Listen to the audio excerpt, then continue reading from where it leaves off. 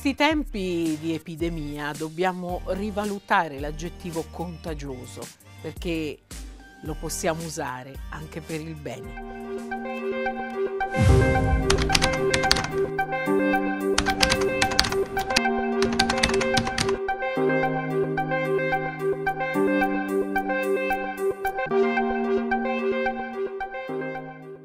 Sono tantissime le persone che come volontarie sono in Africa da anni, qualche volta da decenni, qualche storia la conosciamo, ma il più è quel bene sotterraneo che comunque resta contagioso. Lasciamoci prendere da questo messaggero di Sant'Antonio che se purtroppo in copertina ha un'immagine potente certamente non particolarmente positiva di eh, Dafimes Kashida, un esempio di ragazzo solo nel mondo, all'interno ha invece un bellissimo reportage proprio di quello che è Caritas Antoniana.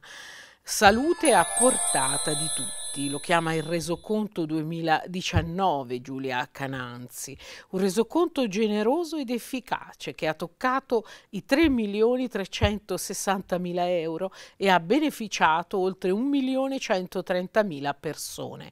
Al centro l'Africa e il problema dell'accesso ai servizi sanitari di base. È chiaro, del continente africano si è parlato immediatamente dopo la comparsa dell'ultimo virus che eh, fa ancora piuttosto paura, perché l'Africa, si è sempre detto, non sarà in grado di gestire un'eventuale pandemia, ma invece quello che è importante è scoprire come appunto senza paura di essere solo una goccia nel mare, tante persone, supportate ovviamente anche da chi resta a casa, continuano a recarsi laddove c'è più bisogno di nuove strade e speranze per la salute appunto.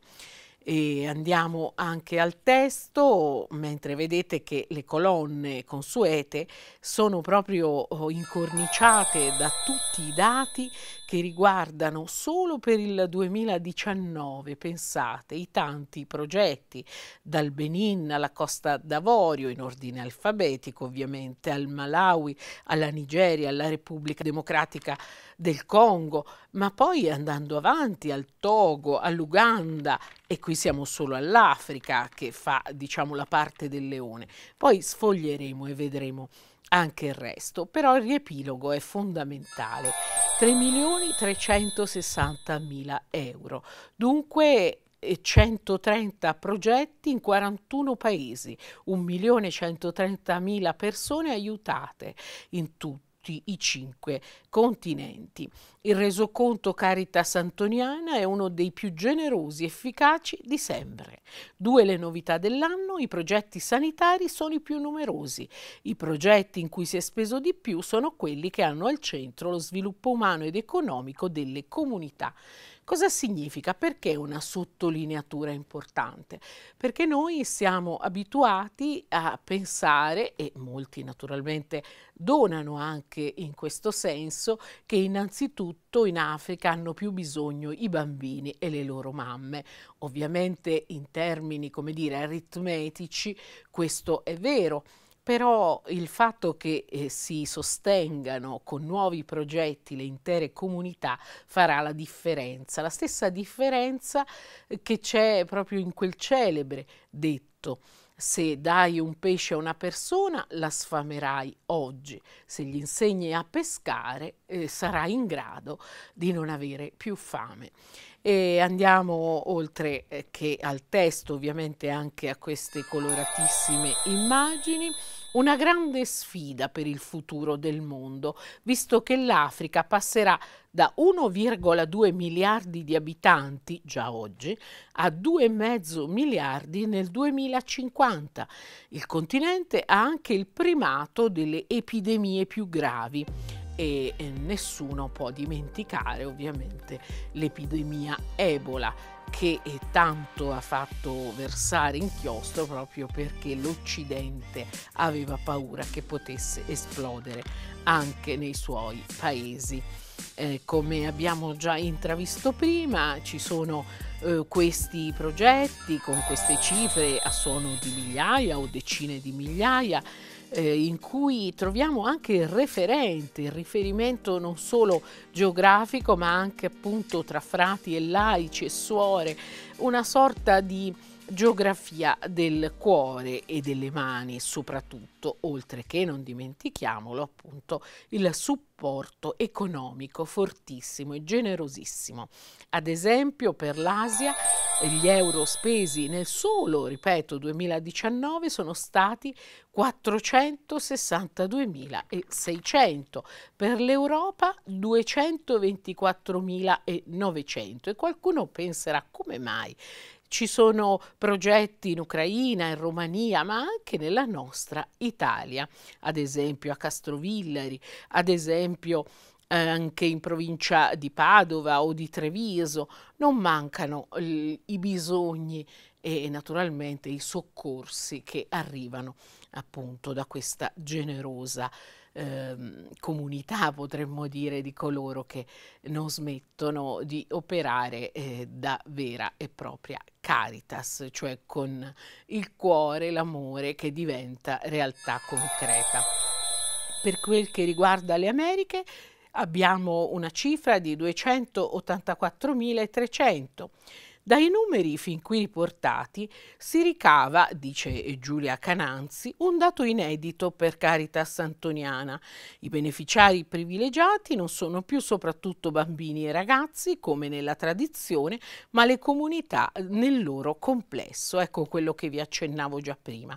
Oggi si aiuta lo sviluppo, ma si ha una vivace complessiva, una visione, scusate, complessiva e inclusiva che miri a una crescita della popolazione nel suo insieme e quindi per promuovere i processi di aggregazione mutuo soccorso si mettono a disposizione sale polivalenti, si danno mezzi alle parrocchie e alle associazioni locali. I numeri confermano i progetti diretti alla popolazione sono 46 e coprono il 34% dell'intera somma.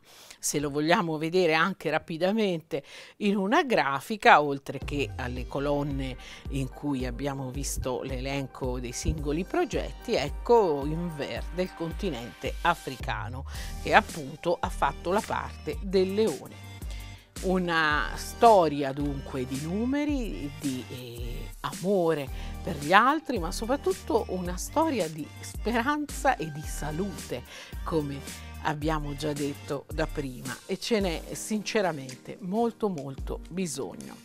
A proposito ancora di differenza tra quelli che riteniamo essere dannosi luoghi comuni e approfondimento nel segno della verità, anche l'eco di San Gabriele ci aiuta, oltre ad avere in eh, copertina eh, questo splendido oh, ritratto, un classico oh, di San Gabriele nel primo centenario della canonizzazione, ci racconta un articolo di attualità eh, che è firmato soltanto con le iniziali da uno dei redattori. Una volta c'era la celebre pubblicità che ci parlava di una telefonata che avrebbe allungato la vita, anzi il protagonista parlava e parlava e davvero la sua esecuzione veniva rimandata. Questa volta invece nell'approfondimento troviamo un punto di domanda riguardo al fatto che le chiamate possano allungarci la vita. Forse c'è il caso che addirittura le accorcino. Infatti, l'estate scorsa la pubblicazione del rapporto Radiazioni e radiofrequenze tumori, sintesi di evidenze scientifiche, tutto sommato rassicurava circa una non correlazione tra l'uso del cellulare e la comparsa di tumori nell'area della testa. Poi c'erano anche tanti dati specifici, ma il rapporto dell'estate scorsa era solo uno dopo tantissimi, perché eh, sono decenni ormai che si cerca di approfondire qual è la conseguenza appunto di questa abitudine eh, certamente recentissima dell'essere umano.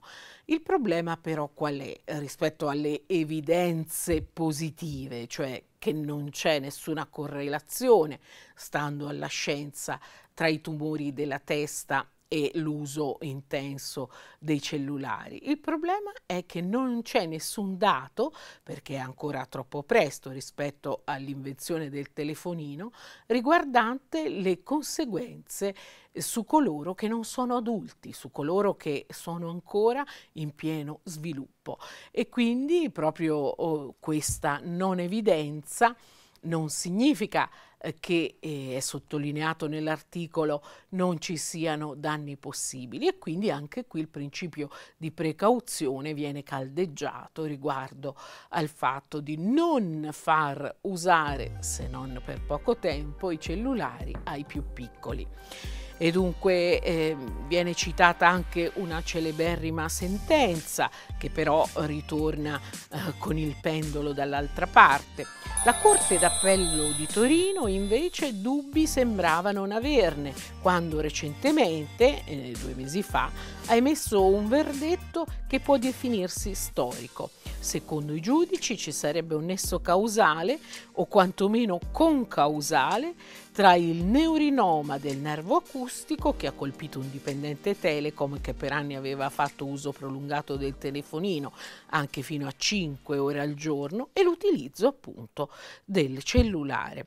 Un eh, pronunciamento storico sul quale siamo voluti tornare proprio perché a volte noi eh, vediamo solamente i mali che stanno arrivando e dimentichiamo invece quelli ai quali non abbiamo dato importanza. Ho avuto occasione più volte di ricordare che questo 2020 è l'anno di Raffaello in termini artistici, 500 anni tondi dal momento in cui la sua arte ha rallegrato in paradiso. E naturalmente ci auguriamo tutti che possa essere anche il paradiso un luogo in cui davvero l'arte dell'uomo possa continuare a dispiegarsi. E già, eh, Luoghi dell'Infinito, ad esempio, ha un dettaglio tra i più celeberrimi e riprodotti di questo che è definito maestro dei maestri. E questo angioletto è irresistibile proprio perché ci sembra eh, essere un trade union eh, tra quello che avviene sulla terra e quello che avviene in cielo. Poiché il, questo numero eh, del mensile eh, di avvenire ha ehm, una serie molto lunga di articoli e approfondimenti sul grande maestro di Urbino, noi vogliamo cominciare da una pennellata di quello che è il quadro storico, la cornice, insomma, in cui Raffaello è vissuto. E lo facciamo con questo articolo, Anni di violenza e di bellezza. Guerre europee, l'Italia in subbuglio, un Mediterraneo sempre più eh, turco e tensioni religiose, questi i decenni del Rinascimento.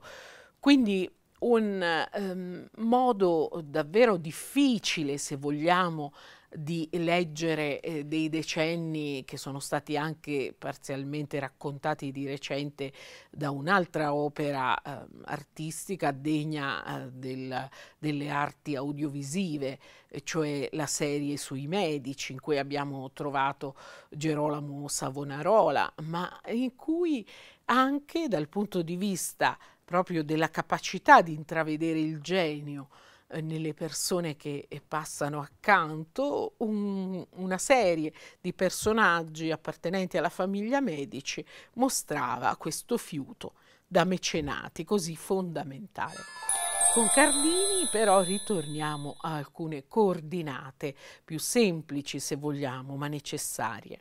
È stato detto che qualunque periodo storico può essere considerato un'età di transizione. Ciò è stato sempre senza dubbio vero. Tuttavia la storiografia moderna indica eh, alcuni specifici momenti di rottura, alcune fasi epocali, ad esempio gli anni tra la fine del XV e l'inizio del XVI secolo. Ecco, quelli sono ancora oggi considerati cerniera tra Medioevo e Rinascimento, specificamente nel rapporto tra fede religiosa, arte e bellezza. Ci sono alcune opere che si impongono alla nostra attenzione.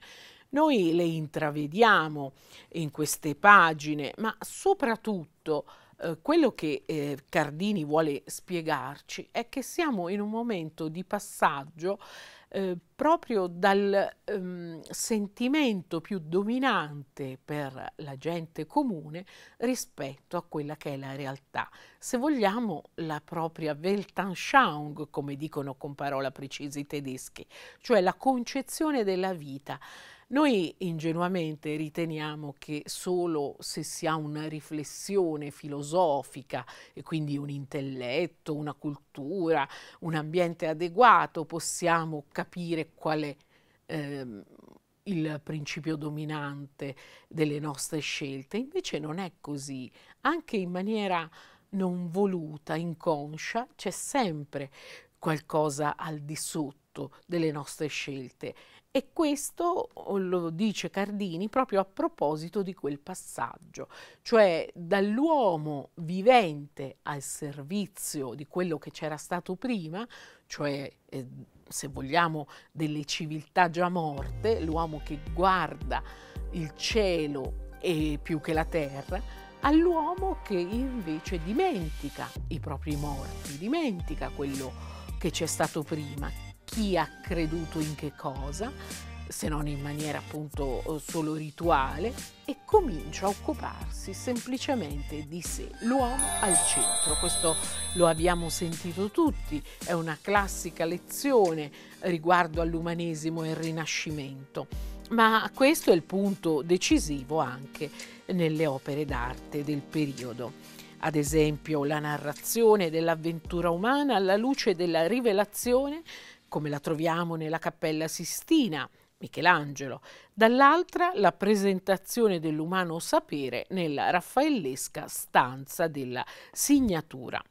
E dunque quali anni mirabili che furono, caratterizzati da inaudite durezze. Insomma, tante, tante volte, non solo nella letteratura, per i poeti è molto più evidente, prendendo ad esempio Giacomo Leopardi, tanto per fare un nome, che la sofferenza, il dolore, eh, le situazioni difficili possono distillare arte purissima, ma questo è accaduto anche in tanti altri tempi, come racconta appunto Franco Cardini. Scomparso quel Lorenzo il Magnifico che Guicciardini avrebbe qualificato ago della bilancia della politica italica, le terribili profezie di Fra Girolamo Savonarola annunziarono le guerre d'Italia, alle quali sarebbero venute dietro quelle in tutta Europa.